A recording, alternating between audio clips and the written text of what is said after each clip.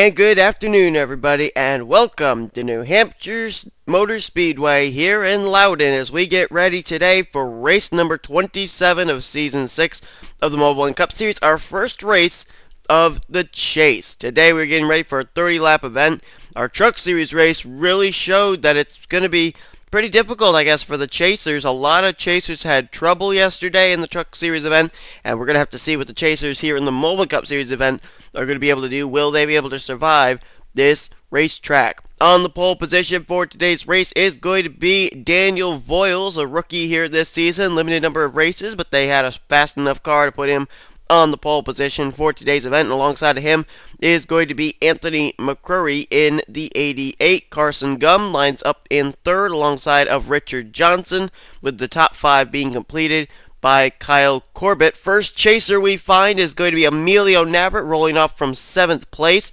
Navarrete is tied right now and I believe, it would be a five-way tie for fifth position right now, 10 points behind the current points leader, Sean Galligan, in the chase standings. Next chaser we find would be James McLeod starting right behind him in the ninth position.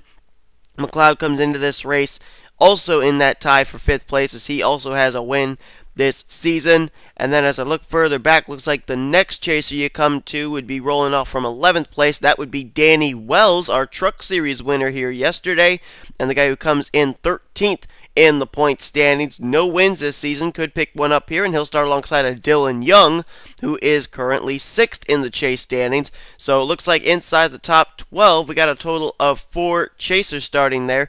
I also see a few other drivers that are chase contenders just outside of the top 12. I see Joshua Collard there rolling off from 13th position. So it's going to come down to who has a good run today and who doesn't. For those who do have a good run today, they're going to be able to carry good momentum over into next week's really tough race weekend because we're heading back to the terrible track of Thornton. However, drivers that end up having bad luck here today, they are going to be in a struggle for the next few races to try and catch back up and try and eliminate the poor finish they get today. We're going to have to see just which end of the spectrum these chase drivers will be in once they leave here at Loudon. Time to get these cars rolling off, though. They'll complete a couple of pace laps, and while they do that, we will show you the starting grid for today's race. The 13 drivers that have made the chase are going to be the drivers that will be in the spotlight for today's event, and we will keep an eye on them all during the course of this 30-lap race. Here we go, though. The CNBC Prime the Profit 200 is about to be run, and we show you now your starting grid for today's event.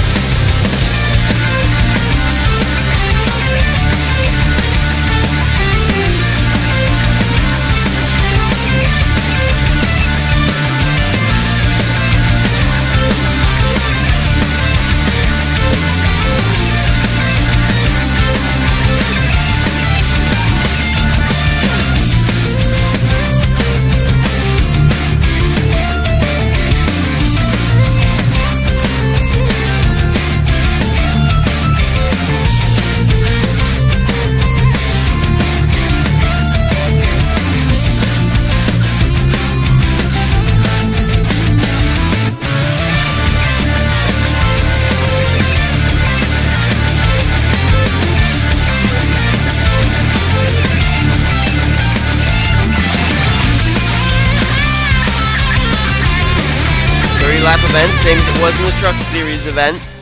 And Danny Wells, we know, was able to go from lap 2 all the way to a little past lap 30 on one tank of fuel. Is anybody in this field going to try and use that strategy, try and stretch it, and try and win this thing like Danny Wells did in the Truck Series event? We're going to find out as the pace car peels off. Daniel Voiles, Anthony McCrory get ready to get us underway. And there it is. The green flag is out here at Loudon. We know the trouble spot is going to be turn four. Drivers seem to overdrive the corner coming out of four. They either hook the driver in front of them in the left rear or else they go up and slap the outside retaining wall and usually crowd a driver on their outside. Whoa, contact right there between Carson Gum and the leader Daniel Voiles. Voiles does a good job hanging on to it though. As they'll head into three. Now let's see how they do coming out of four. They're three wide back there with Dylan Young, Danny Wells, and I think that was uh, Joshua Michaels caught on the high side there. That could be a trouble area. Will they keep it together though? And Kyle Corbett nearly got turned around by Emilio Navarrete. That was close. And the caution flag's going to wave. Caution is out. Wait a minute. I think they just wrecked back here. They did. James McLeod has been turned around right in front of the field. Henley gets around it. Dylan Young's got a little bit of damage though. I thought I saw Bob Jones. There he is. The hefty car is badly damaged. Bob Jones, who comes in uh, 14th in the point stage, just missed out on making the chase last week. And a second bad week for the 14 machine. There's McLeod. I saw him get turned around in front of the field. Apparently he was able to continue on, though. Not really that much damage, though. I thought I saw some black smoke out of one driver's machine, but maybe not. Whoa, look out. They're backing up back here. What happened here? These are the leaders. They've caught up with the tail end of the field, and must have been a wreck, and the leaders came up right into it, because there's fourth or sixth. I think that was actually drivers third and fourth. Whoa, contact. That was uh, McCurry, Johnson, and I believe Poteet got a little bit of there. And we are looking at the leader as the cars that were on the lead lap are going to try and cycle their way around back onto the tail end of the lead lap. But Daniel Voiles is the current leader with Carson Gum. Caution coming out here. I believe it was for the James McLeod spin. Let's jump back and take a look at a replay of what happened. No driver's going to come down pit road here on lap number four. Well, we saw Navarrete get into Kyle Corbett coming off of four here. Well, they did save it, but it did end up turning it into a four-wide battle then with Rogers and McLeod. And Corbett, I guess, didn't really take kindly to Navarrete's contact. Kind of forces him up the track, and McLeod was there. McLeod going to get turned to the outside retaining wall. Jake Rogers gets held up behind this. So does Danny Wells, Joshua Collard, a couple other chasers as well. The 99 and 34 that you see there, they are chase contenders. Jake Rogers going to makes some contact with McLeod. That turns him around. Oh, there's where Dylan Young got his damage. He got jacked up by the Bob Jones machine. So Dylan Young's going to have some rear end damage on his Qualcomm Chevy out of Turner Motorsports. But Bob Jones, I think out of everybody, sustained the most damage as he just flat out ran to the back of the 30 car. I guess he didn't realize that Dylan Young and all these others were slowing down to avoid the James McLeod Emilio Navarrete spin. And he's got a lot of damage to his hefty Toyota Camry out of McClure Racing. So the caution flag is out. I guess we can say that three chasers were involved, but not really to the extent that I think they'll have to retire. Navarrete, McLeod, and Dylan Young are the chasers I'm talking about. So we're going to head back to Green Flag Racing now. I think all our chasers should still be on the racetrack. Getting ready to go back to Green Flag Racing. I don't think anybody came down pit road, at least of the leaders, that uh, caution segment. So we will restart here with a total of 24 laps to go. Lap 7 is when the green flag will come back out. Daniel Voiles out in front, Carson Gum in second, Richard Johnson third, Eric Burton fourth, and Kyle Corbett runs in fifth. There's Ralph Mason. He's fallen a lap down too. The leaders think he actually may have come down pit road to repair a little bit of damage he may have sustained on the back straightaway when we saw the leaders kind of catch up with the tail end of the field there just after the caution flag came out. Navarrete will restart in sixth after the spin. Jo uh, James McLeod will continue on in seventh. Joshua Collard is 8th, Dylan Young is 9th, and Austin LaPlante is in 10th. So there you go, from 5th on through 10th, all chase contenders. Then it'll be Jeremy Mayer in 11th, 12th, Daniel Day. Jordan Hester, another chase contender, is up at 13th. Sean Galligan's got some rear end damage on the Aspen Dental Toyota. Don't know where that came from, but he is in 14th place now. Then you got Cody Lamas 15th, Anthony McCurry 16th, and George Roke 17th. 18th is Aaron Williams Jr. making his final start. Jake Rogers is 19th and 20th is Alex Mays. The green flag comes back out. Let's find the rest of our chasers. There's Danny Wells restarted in 23rd. Sean Henley restarting back in 26th. Trent Dunham 29th and Jace Silver Fox in 30th. There's Dylan Poteet back in the 31st position. Megan Atkins is back in 34th place. I believe she is currently the last uh, running chaser on the racetrack as Carson Gum going to get by Daniel Voiles for the lead. Voiles goes way wide through that corner. New leader, the driver of the 77. And Voiles trying to use the crossover to go back for second place on Richard Johnson, who had just passed him out of four for the runner-up position. And now it's going to be side by side again between those two. Meanwhile, Joshua Collard trying to work his way up inside the top five here. Collard also trying to look for his first win of the season. He's made the chase for the championship, but he hasn't been to victory lane yet. Look at the company behind him. Austin LaPlante, James McLeod, Dylan Young back there. And oh man, the two old cars just got on the wall. That was Eric Burton and Kyle Corbett. And it was right in front of some chasers. And yep, there's some chasers involved as everybody's piling in. Deanna Shelton is flipped. Michaels is flipped. Mayer, Burton, Corbett, Mason, Henley, Silver Fox, Roke, you name them, they're in it. Danny Wells is damaged. Alex May is involved. Daniel Day, Aaron Williams Jr., there's Mayer, there's Navarrete, Galligan, Hester, they're involved. And everybody else from James McLeod on back must have gotten a piece of it some way or other. Hayden Klein is involved. Roke is involved. McCrory, Duncan, Mason, Atkins may have gotten through it. I don't know. Jake Rogers, Dylan Young, Nick Musiola is smoking. Zach Rogers is done. And more drivers line pit road. Joshua Michaels, Charles Sanford, there's Cody Lamas, Deanna Shelton, and Tyson Broad. And wait a minute. Danny Wells is staying out? No, that's not Danny Wells. That was Anthony McCurry. There's Danny Wells on pit road. McCurry is staying out. And I thought he had some damage, but I guess not. Well, we're going to go to our pit lane camera here because Daniel Voiles and company are on pit road. Carson Gum first on, first off of pit road. Johnson comes out second. There goes McLeod, Galligan, Collard, Aaron Williams Jr., then Voiles, Alex May, Hayden Klein, Navarrete will continue on. So it looks like after all that carnage, it's Ralph Mason, the lap car, is going to come off pit road. I think the leader is going to be Anthony McCurry under caution. No, it isn't. It'll be Austin LaPlante in the 71 who stays out. So he is going to restart this race as the leader unless he comes down pit road at any point during this caution segment. Looks like the top four stayed out. LaPlante, McCurry, Megan Atkins, and Dylan Young. Three chasers in that top four. Then it comes out Carson Gum, who will restart in fifth place. But a huge, huge pileup after the two Monster Energy cars got together coming out of the final corner. One car flipped and everybody just piled in. Let's look back at a replay. We're now one third of the way through today's event at New Hampshire. Now, Joshua Collard was able to get a run to the inside of the Kyle Corbett machine. And I think Corbett just overdrove the corner like we've seen. Gets hooked by Eric Burton. Up into the fence they go. And then here comes some of those chasers that were running back there just outside the top 10. There's Navarrete getting involved. Hester, Daniel Day. You see there, Corbett gets flipped over. Look at Cody Lamas gets jacked up up into the catch fence after uh, getting nailed by George Roke. Michael's going to get flipped up in the air. There's Kenny McCrory back there. Danny Wells, Alex May. There's Sean Henley, another chaser flipping upside down. Deanna Shelton gets flipped right up on top of the whole field there. She's flipped up on top of at least five, six cars. There's the uh, Dylan Poteet machine, I believe, up there in the air as well. You see the grill of his car facing up straight into the air. And, oh, well, I guess Eric Burton teleported to pit road. We got to see some other drivers are involved there. I think Dylan Young may have actually hit pit road during this wreck. Zach Rogers, there's Nick Musiola. There's Charles Jackson. Here comes Charles Sanford. Not going to slow down at all. He runs into the back of Jackson. But I think, oh, Trent Dunham was in it. I think the Qualcomm Chevy, yeah, Dylan Young made a pit stop right when that caution happened. So what perfect timing for the driver of the 30, Dylan Young.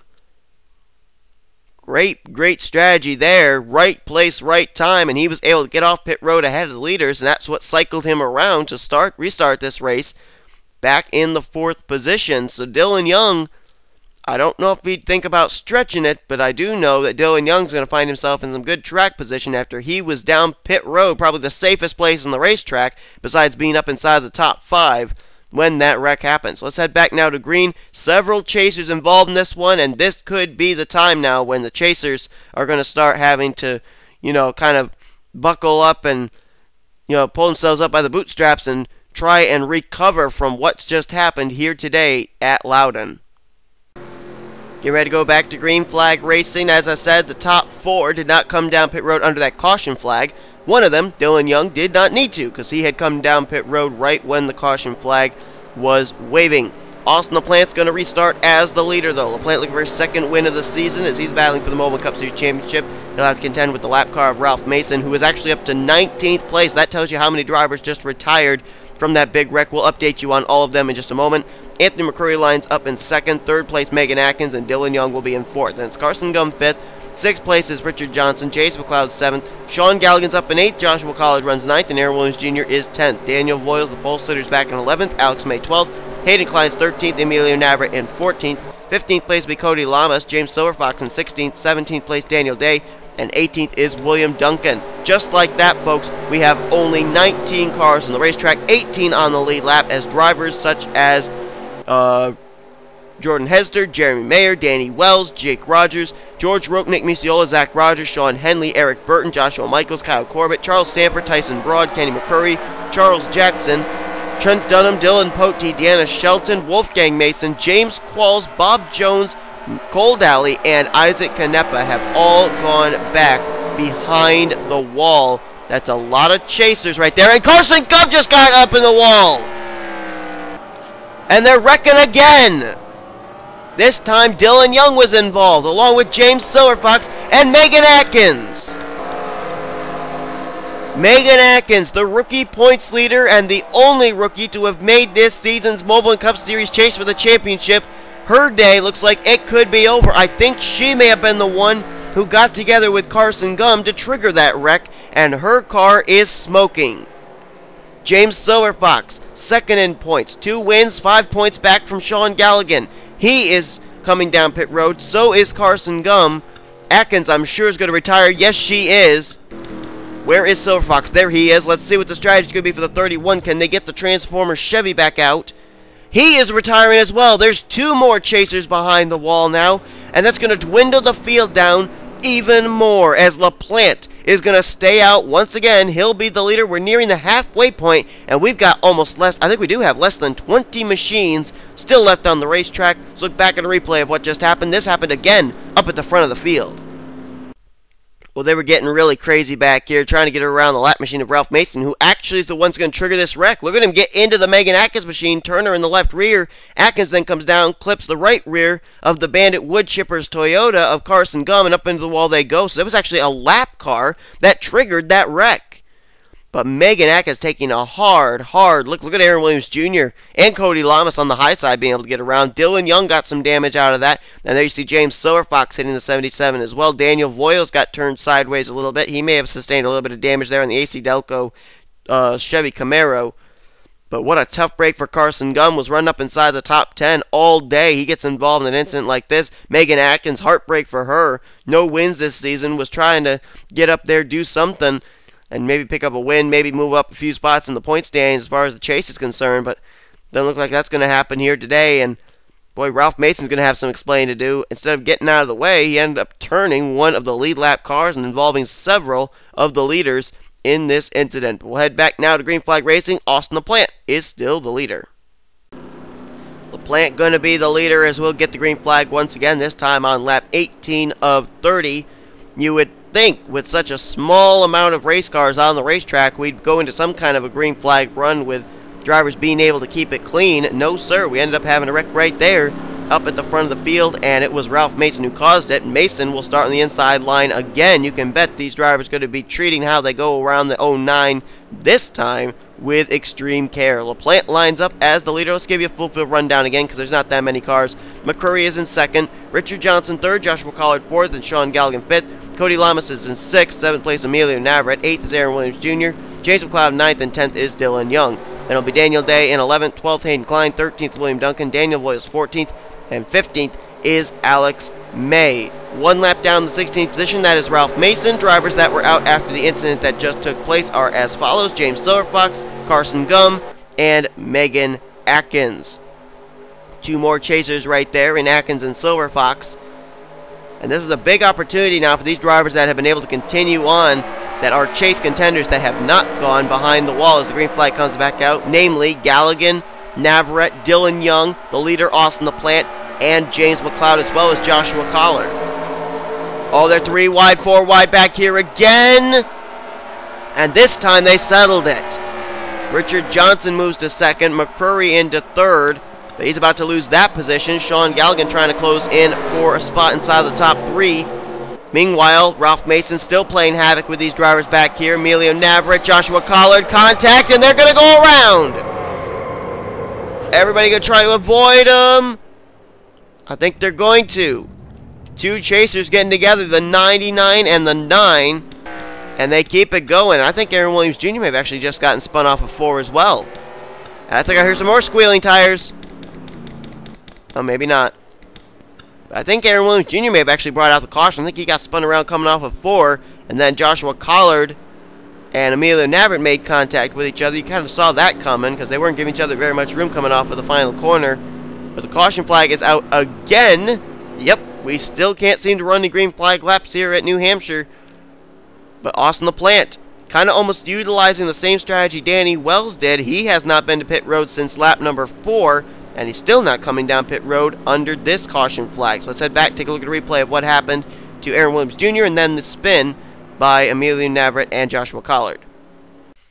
Yeah, this was coming off of turn number two here. Hayden Klein and Aaron Williams Jr. battling for what I believe was the eighth position. Contact right there turns the five Great Clip Chevrolet around. And the fortunate thing was everybody was able to avoid him. Hayden Klein almost continued that wreck with getting up into William Duncan, but Aaron Williams Jr. able to hit the brakes, get the car righted, turn it around, and Aaron Williams Jr. was able to continue on. Now we can actually, I think, jump right up immediately to the Emilio Navarrete Joshua Collard machine. See what happens here. I thought this was something that was going to be triggered by the uh, Ralph Mason machine up ahead, but not really. It was really just a Navarrete, again, overdriving the corner. And he's going to go up and into the 9 car of Joshua Collard right here. It's going to kind of crowd him. You know, the thing here with this track is you can kind of uh, drive this track like a flat circle, which means that you go hard into the turn, drive your car wide, and then cut it hard back down towards the inside off of 4. Or what Emilio Navarrete was doing, where you drive the car wide into the corner, then drive it hard down to the inside in the middle of the corner and drive it wide off the corner. And I think what was happening there was the first part, the first line that I was talking about was what Joshua Collard was running. The second line was what Emilio Navarrete was running. And those two lines seemed to intersect, and that ended up causing the two of them to make contact and not give each other very much room coming off turn number four. But they got away pretty well unscathed, did both of these chasers. I think that's the first bit of damage Joshua Collard sustained all day, though. But the caution flag's going to wave. Looks like those two chasers will be able to continue, though, as we're under the yellow. Let's head back to green. Less than 10 to go this time, so we should not have to contend with the Ralph Mason machine this time, I don't think. Well, here's the other good piece of news for chasers Emilio Navarrete and Joshua Collard. The caution ended up coming out for the spin of Aaron Williams Jr. When those two got together off of four, they slid across the start finish line in seventh and eighth positions. Neither of them came down pit road. That is where they will restart in 7th and 8th place inside the top 10. So a lucky break for them if you're going to wreck, I guess, wreck off a turn 4 and slide across the start-finish line so you don't lose much track position. Austin LaPlante, though, has not been to pit road since lap number 4, almost seeming like he wants to utilize the same strategy Danny Wells utilized in the Truck Series race yesterday. He'll be the leader. Richard Johnson up in second. McCrory runs third with Galligan fourth.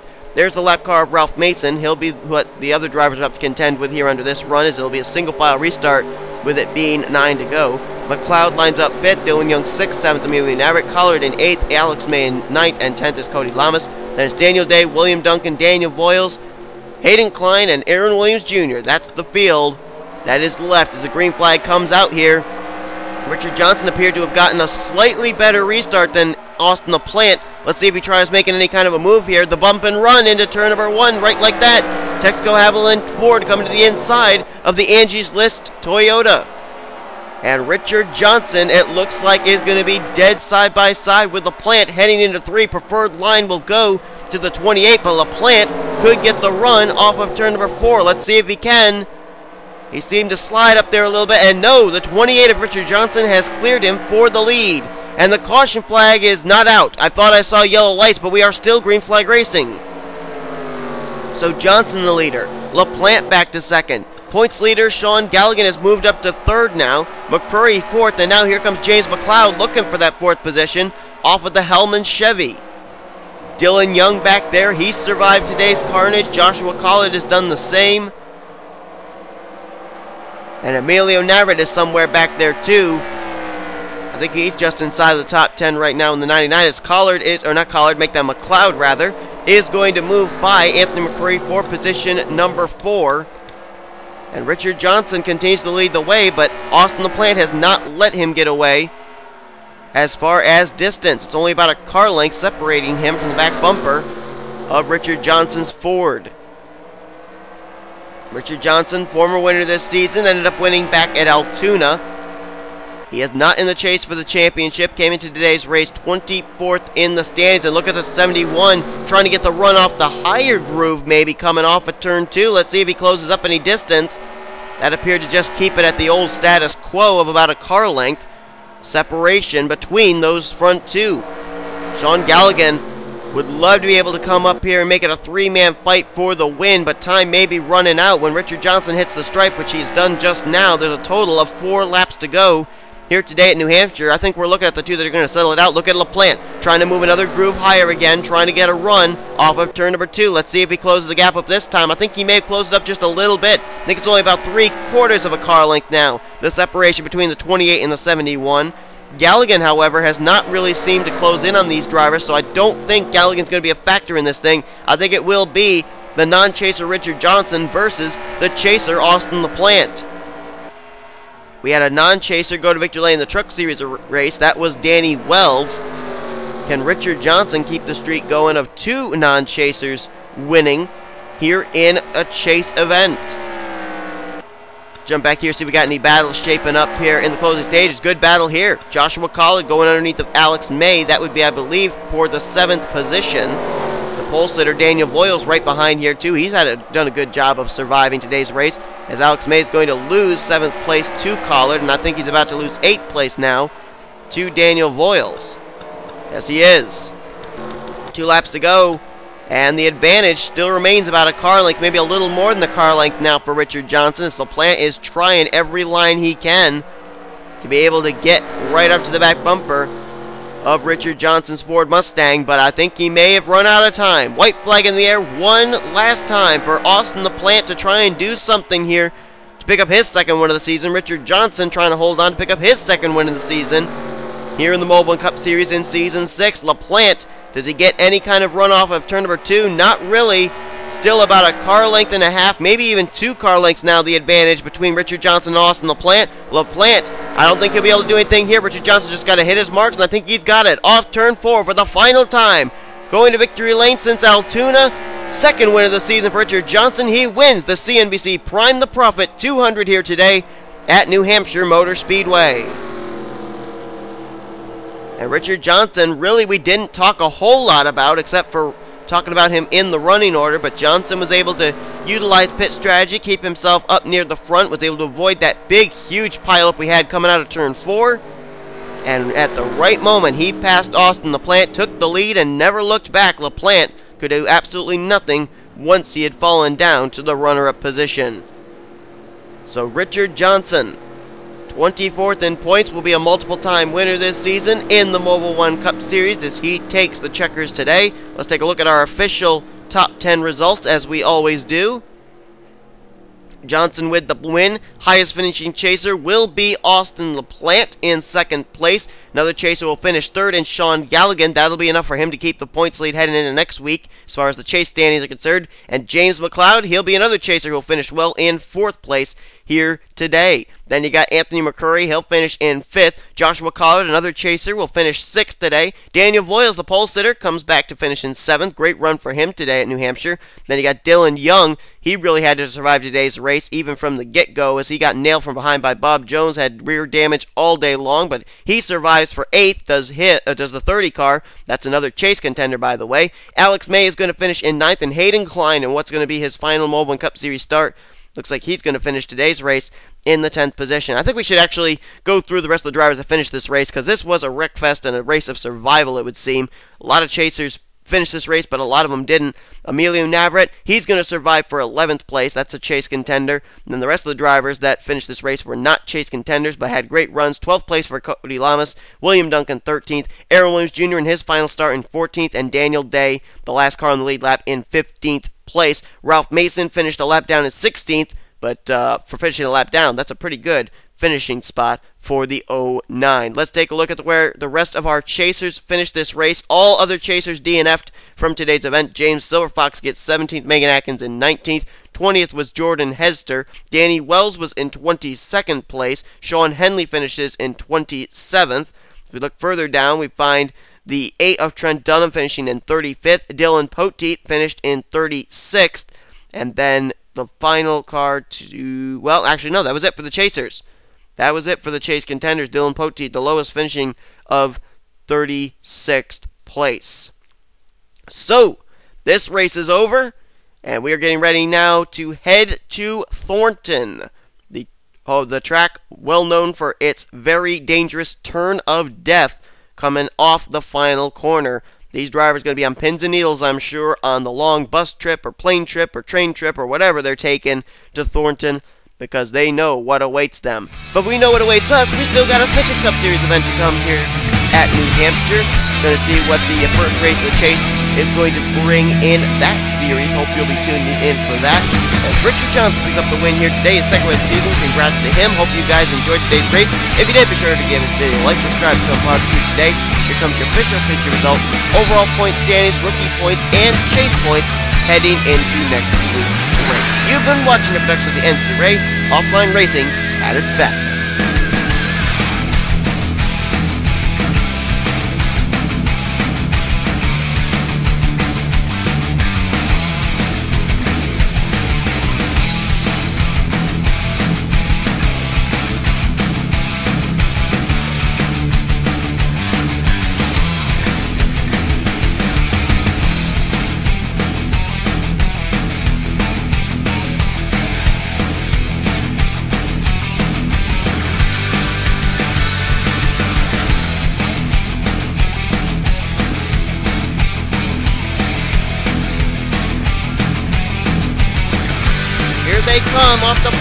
Final oh, what was John Zinedino, the leader!